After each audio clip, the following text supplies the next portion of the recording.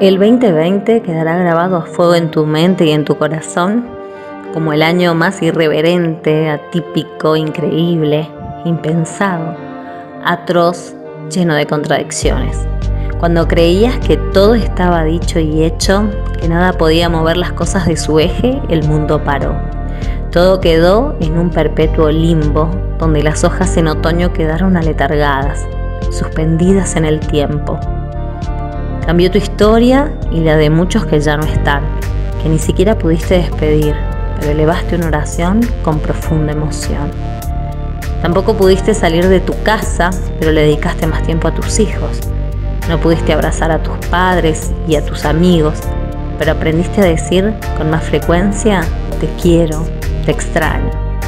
Las redes sociales se convirtieron en tu fiel compañía, en tu maestro, en tus ojos para mirar el mundo.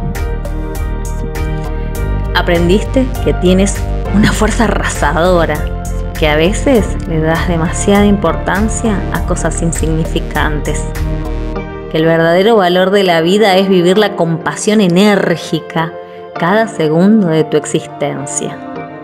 Guarda en tu alma el 2020 como una valiosa lección. En este 2021 darás el primer paso luego de muchos resignados Seguro no te llevará de inmediato a donde quieras ir, pero te sacará de donde estás. No dejes que tu felicidad dependa de mil y un detalle. Aprende a sentirla, a valorarla, a descubrirla. Sé feliz todos los días. Tienes varios motivos para hacerlo. Cuenta todas tus bendiciones y te sorprenderás. Disfruta a diario cada día.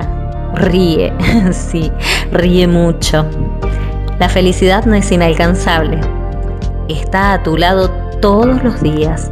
Solo debes descubrirla y no dejarla escapar. Anímate, sí, anímate a transitar el camino de tus sueños.